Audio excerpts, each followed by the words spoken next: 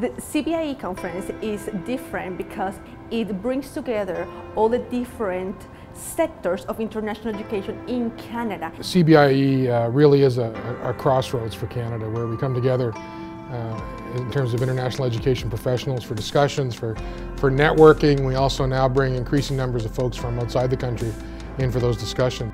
The role of organizations such as CBIE is really to be a convening power, to be a convener for educators, practitioners, uh, public policy folks and others to be able to come together and to be able to, to talk about a common agenda and to be able to talk about where the field can go and what the possibilities are within the field.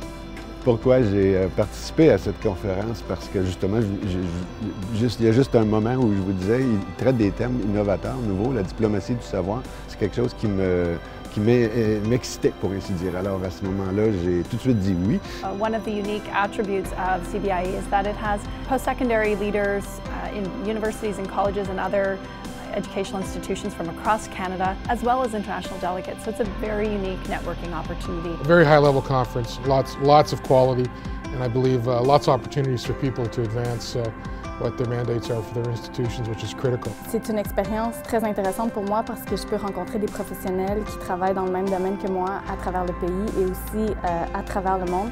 Donc pour moi, c'est sûr que ça va devenir un rendez-vous incontournable euh, année après année. It gives you a great opportunity to meet one-on-one -on -one with people that you know, people that you want to get to know.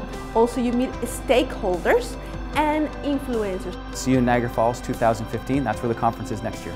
See you in Niagara Falls in 2015. Donc on vous attend à Niagara Falls l'année prochaine en 2015.